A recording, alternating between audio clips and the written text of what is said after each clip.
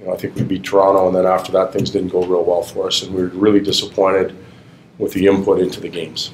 Um, our last nine periods have been has been different, and that's a reflection on them deciding that uh, uh, their effort level and their commitment level wasn't good enough. Give them credit for responding. Um, kind of throwing that word out about being scrappy and dog on a bone and and relentless, using those adjectives to try and describe our team moving forward and how we're going to have to play. And we're seeing more of that over the last few nights.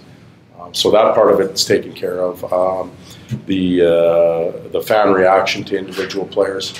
Um, you know, they come and they uh, they deserve to express themselves. They earn the, that opportunity when they uh, when they pay for the seat and they can come in and, and uh, it's our job. Uh, the entire organization organization's job, just not one individual, to to impress them enough to uh, to, to get them excited.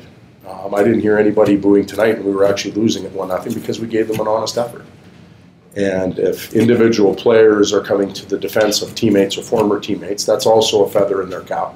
They're trying to deflect some of that uh, uh, that pressure on individuals. It's hard to play in that type of situation, but we put ourselves there.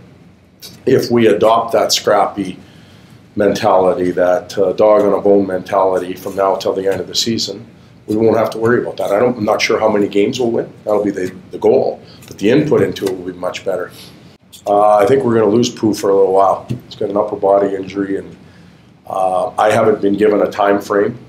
Uh, but uh, I believe it's a shoulder injury, and, and we said we, you know, we'd let you know if it was going to be more than day to day, and it's more than day to day. So we've likely lost him for a little while.